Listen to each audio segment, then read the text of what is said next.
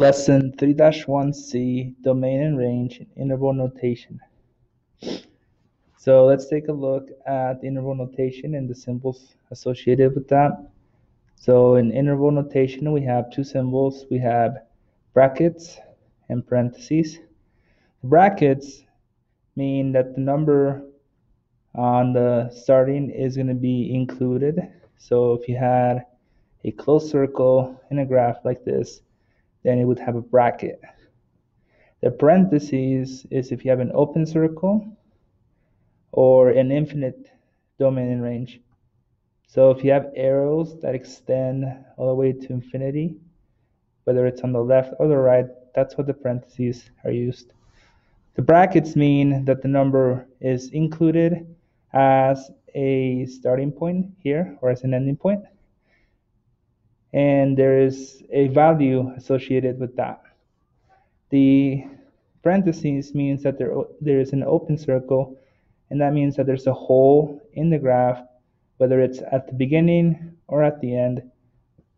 Or also, if there is no set point, let's say that one of these ends go to infinity or negative infinity, then that means that it's going to be a parenthesis because we don't know what kind of value uh, it's going to take us, it's going to be infinite. So quickly, uh, let's identify the domain of this function here. And if you remember from the last lesson, we're going to do lines all the way up to our first point. And in this case, our first point is going to begin at 4. Okay. So we begin our function at 4 and we continue going with those lines and everywhere there's an intersection the function still exists and at the very end here we end up at 12. So an interval notation you can think about it as having your starting point, comma, and then your ending point. So 4 to 12 and then we go back and see whether these ends are going to be filled in or open circles or if they go to infinity. Okay, so if they're filled in, we have a bracket. If they're open circle, we have a parenthesis. All right, so that was for domain. Now let's do the same thing for the range. And for the range, we're gonna go from the bottom up. And our first one we hit is located at six. So we're gonna start from six. We're gonna keep going all the way to 10. Right, so my range is going from 6 to 10. At 6, we have a closed circle, so parent, uh, square bracket. And at 10, we have parentheses. Remember, domain, we're looking at the x values. And then range, we look at the y values. Let's take a look at the difference between inequality and interval notation. So if you're given a number line whether this is along the x-axis or the y-axis, it's going to be the same. The y-axis is going to have this in the vertical direction. So as an inequality, we try to see if we can explain the values along an interval. So up to this point, the inequality are for values that are less than this number. So my solution exists anywhere below this number, and that number is going to be negative 1. So let's just call this x. For values that are like uh, values of x that is less than negative 1. Okay, it's not equal to negative 1 because we have an open circle. And as an interval notation, we're coming from the negative infinity, and we're going to stop here at negative 1. And because infinity is never included, we have parentheses, and we have an open circle, we have parentheses here. An inequality that goes from a point to another set point here is going to look like this. So we begin at negative 3, and we go up to 6, and everywhere my solution is in between those two points. So let's call that x, and because we have open circles, it's going to be less than x is to lie between these two points. So you can read this as negative 3 is less than x is less than 6. And as an interval notation, we do parentheses on both ends because of the open circle, but we go from negative 3 comma up to 6. So this one, we do not need to establish the variable. Now what happens when we explain values that are going the other direction? So starting at negative 2, okay, we uh, have values that are greater than that, so x is going to be greater than negative 2, but because this is a filled-in circle here, it's going to be equal to negative 2 as well. So greater than or equal to negative 2. And as an interval, we start off with negative 2, and we go up to, to the right all the way to positive infinity. And because we have a closed circle here, we have a bracket. A point exists there. But at infinity, we have a parenthesis because we don't know what that value this is going to end up. And for the last one, we go from a set point here, 13 to, to 20. And on the left-hand side, there is a point, so we can do less than or equal, but on the right-hand side on 20, we only have less than, because it's open circle, and x is going to be between those two points. And as an interval notation, we go from 13 up to 20, bracket on the left-hand side, and then parentheses on the right-hand side. Now let's do inequality notation and interval notation for the domain and range of this graph. So let's do domain first. Doing the scan lines, we hit our first point at uh, it's 2, 4, 6, 7, negative 7. So we begin at negative 7, and we're going to continue our scan lines all the way to where the function ends. And that's going to be at this point here. Okay, so that is 2, 4, 5. We end at positive 5, and all the values in between for x is where my function exists. In the left-hand side, I have a closed circle. So I'm going to have less than or equal. And on the right-hand side, I have an open circle, so we're going to have less than. Now, the domain has an interval notation. Take these two values and go from negative 7, comma, up to 5. And then to decide whether we do brackets or parentheses, we look at the points here. There is a value here located, so we have bracket. But this one is empty, so we have parentheses. Okay. Now let's do the same and analyze the range. So starting from the bottom up, we're going to hit our lowest point here at negative 3. So negative 3 and we're going to continue hitting a point everywhere up to this point here at positive 1. So values of y um, that are in between negative 3 and positive 1. At negative 3, we have a closed circle, so it's going to be less than or equal. And at positive 1, we have an open circle, so we're just going to have less than. Now the range is going to be the same we're going to go from negative 3 up to 1 and at negative 3 we have a bracket and at 1 we have parentheses. Let's graph these values on a coordinate plane and let's see what the domain and range of these are. Let's assume this, these points are connected and make a function. So at positive 4 we're going to go down to negative 2 at negative 1, we're going to go up to positive 1. At 2, we're going to go down to negative 3. And at 3, we're going to stay at 0. So let's go ahead and connect these points.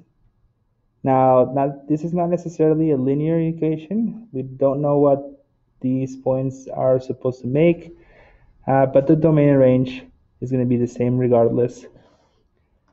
So let's start off with domain. And if we begin from left to right, our first point we hit is at negative 1.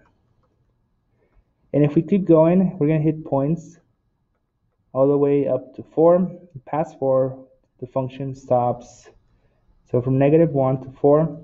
And at, at both endpoints, we have brackets. These points are included. They're closed circle. Now for the range, let's do the lines coming from below. And the first point I hit here is at negative 3. And if we keep going, we're going to hit more points all the way up to positive 1. So from negative 3 to positive 1, and both of these endpoints are going to have brackets. On the next problem, we're going to try to see if we can find the domain and range without having to graph these. Go ahead and try to see if you can find the domain and range from the set of points here. Pause the video. All right, now that we're back, uh, this is really easy to find the bounds of, both, of all these points. We, for the domain, we're going to look for the lowest x value and then up to our highest x value. So this is our lowest value here, negative 4.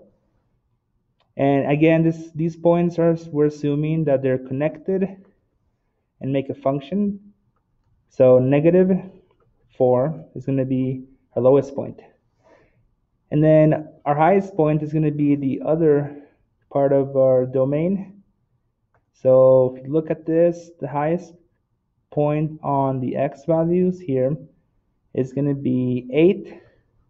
So my domain is going to run from negative 4 up to positive 8.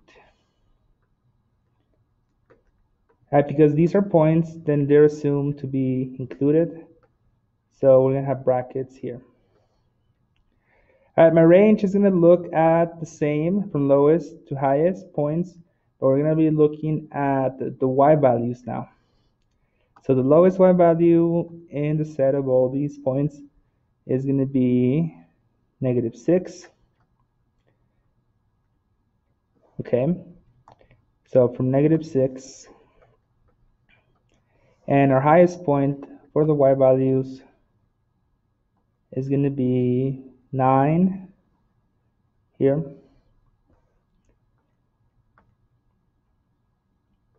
So my range is going to go from negative 6 up to 9. And both of these are included. Now, if you want to verify these answers, you can try graphing it on a coordinate plane and try to see if it meets the bounds along the domain and the range. Example 2, find the domain and range from this graph.